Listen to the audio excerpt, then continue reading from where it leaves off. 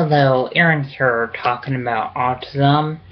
Autism is kind of like a brain delay that affects social interaction, and autism makes it hard to process what other people are saying.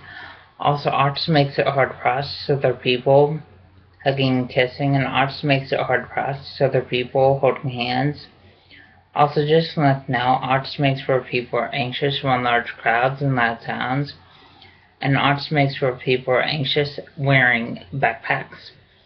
Also, autism makes where people are anxious at school day, and autism makes where people are anxious on the school bus. Also, autism makes where people are anxious when fire alarms go off at school.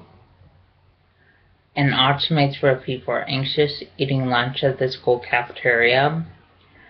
Also, just like now, autism makes where people have a hard time tying shoes and buttoning short collars. Also, just now, the signs of autism are lack of social skills, lack of eye contact, lack of speech, and lack of communication. And when people act up in school, that's a sign of autism. Also, just like now, when people stim in school, that's a sign of autism. Also, just like now, stimming is kind of like when people have hand flapping and hand motion and hand movement and hand fidgeting. And also just like now, when people have low grades in school, that's a to watch them. Please subscribe, rate, and comment.